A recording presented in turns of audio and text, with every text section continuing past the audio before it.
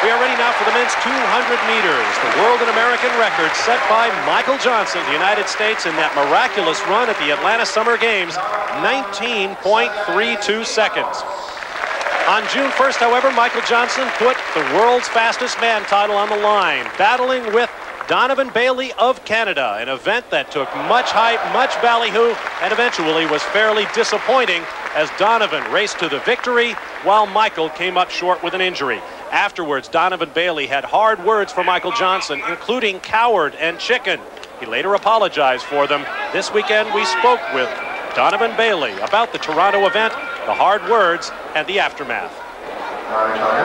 Well, yeah, but I received some rough words. I mean, I, I just I chose not to go public with the words that were coming from him or his camp.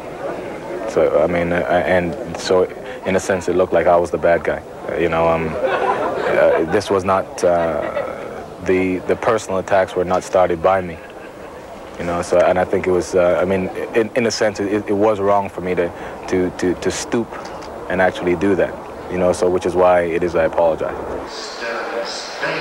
Ready now for the men's 200 meters. In lane one from Australia, Patrick Johnson. Lane two, Kevin Little of the United States. Lane three, Patrick Stevens of Belgium. In lane four, the man himself, Olympic 100 meter gold medalist Donovan Bailey. In lane five, Geir of Norway. Lane six, Sergei Inshakov of Latvia.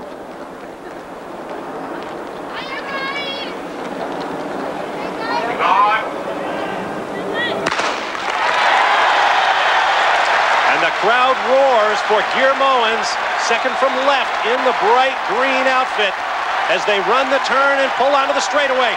Donovan Bailey in black and white with a slight lead, but only a slight one. Moens, the Norwegian, right there with the Olympic 100 meter gold medalist. Now Donovan Bailey pulls away. That was close. The time 20 and 14 one hundredths of a second. And depending on whether the wind was up or down here above two meters per second, he may have a new Canadian record. His goal coming here to Bislett was to try and get what he considered to be a soft record, 20.17 seconds, which was Canada's lifetime best ever by a man at 200 meters, and he may have done it if it's a legal win. Donovan not known for a strong 200 meters. As a matter of fact, it's amazingly weak. His lifetime best coming in here, 20.63 seconds set earlier this year. Moen get out well. He runs the turn well. He is the world indoor champion back in 1995 at 200 meters. This is his strength in front of his home audience, and he's running this race very well. The great sprint speed at 100 meters holds up well for Donovan Bailey here and he just holds on at the finish. His superior sprint speed holds off the strength of Moen, and he gets second place, does Moen. But a, a surprisingly very good performance by Moen, in my opinion, and an easy personal best by the world record holder at 100 meters, Donovan Bailey. Final results of the men's 200 meters. Donovan Bailey, 20.14 seconds, but it was wind aided above the allowable 2 meters per second. It will not go into the books as a Canadian national record.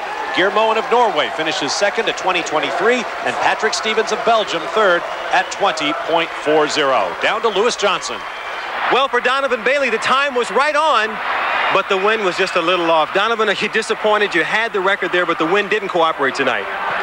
Uh, not really. I mean, I, I, got through it. I mean, it was an ugly, ugly, ugly race. But I mean, I, I got I got through it. I mean, last, the last 80 meters was was real tough on me. But uh, I'm glad that I ran. I know how fast I can run the 200. I mean, technically, if I if I change a few things, that I know I can uh, I can definitely run under 20 seconds. So I'm not uh, I'm not really worried about today. I mean, there's going to be another another day. All right, fantastic. We'll see you in Zurich. Well, yeah, definitely. I'm going to see you next uh, the next Golden Four meets. Okay, fantastic. Great, thank you.